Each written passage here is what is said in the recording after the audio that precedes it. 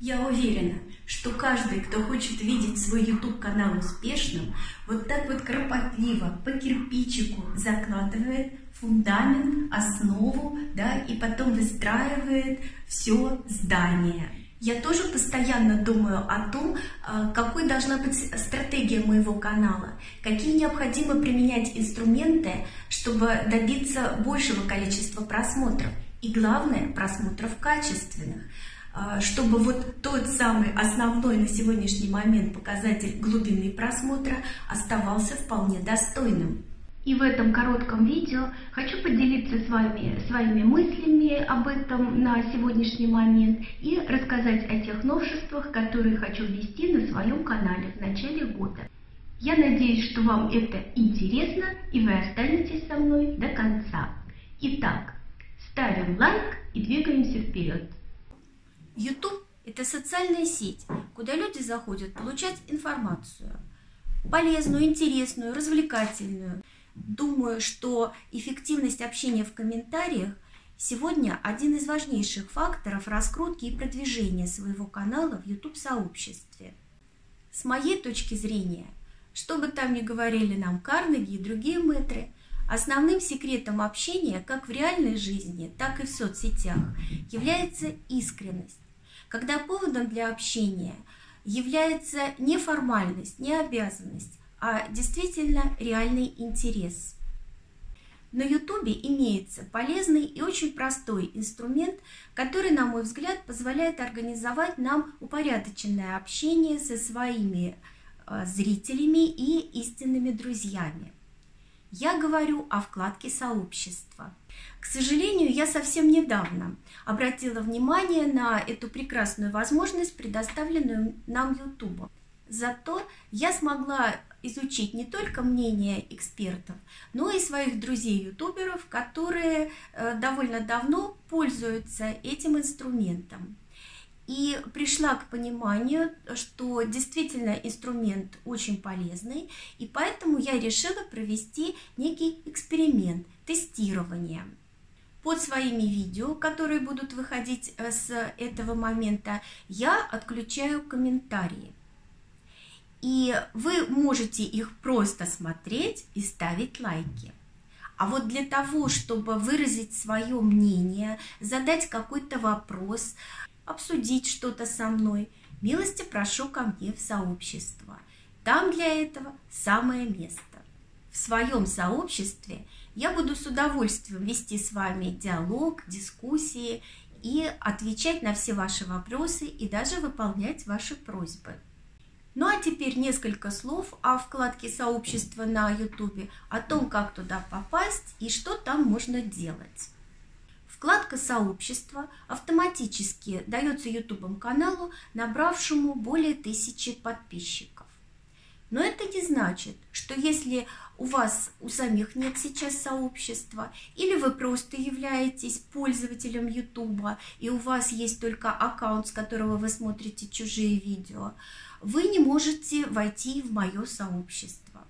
Это вполне возможно и даже нужно. Для того, чтобы стать членом моего сообщества, вы заходите на главную страницу моего канала. Я вам сейчас рассказываю самый легкий и простой путь. Да? Итак, вы заходите на главную страницу канала, находите раздел «Сообщество», заходите в него и видите перед собой э, ленту, такую же новостную ленту, как и практически в других социальных сетях. А, вы видите там посты. Так вот, вы можете поставить лайки, комментарии под несколькими постами и автоматически станете членом сообщества. После этого в уведомлениях на вашем канале вы будете получать сообщения о том, что в моем сообществе появились э, какие-то новости.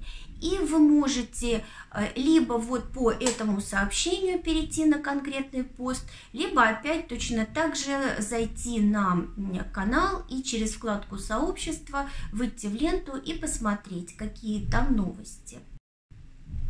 Кроме того, в сообществе я выкладываю э, новости о том, какие э, видео снимаю, над какими темами работаю.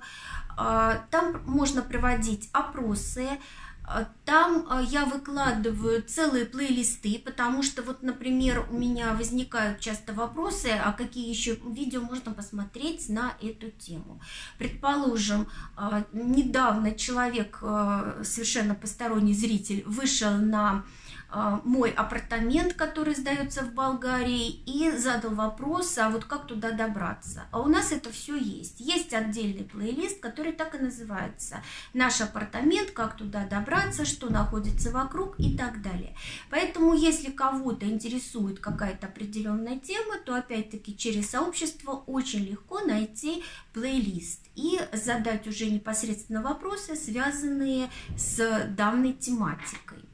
Со своей стороны могу обещать, что те мои друзья-ютуберы, которые будут э, заходить ко мне в сообщество часто, активно там работать, проявлять себя, э, значит, соответственно, будут получать и мое алаверды. Потому что тогда мне уже будет понятно, что этим людям я действительно интересна как человек, как личность, э, им интересны мои видео, тематика, ту, которую я веду, да, э, она очень различная, но тем не менее все-таки достаточно ограничена. И э, если я пойму, что я интересна людям, то, соответственно, я буду заходить в на их каналы, проявлять интерес к ним. Так что еще раз приглашаю всех в мое сообщество и э, Думаю, вот что э, это должно достаточно эффективно сказаться на продвижении канала, потому что YouTube будет видеть, что вокруг канала собираются действительно люди, проявляющие к нему интерес. Ну и еще одно – я же сказала, что это тестирование, что это эксперимент, что я буду это все изучать, смотреть, исследовать. И поэтому я приглашаю всех людей, любознательных, которым действительно интересны а, инструменты, эффективные инструменты в развитии их каналов, участвовать в этом эксперименте вместе со мной и смотреть, что из этого получится, какие у нас будут результаты и как это повлияет или не повлияет на продвижение на YouTube-канале.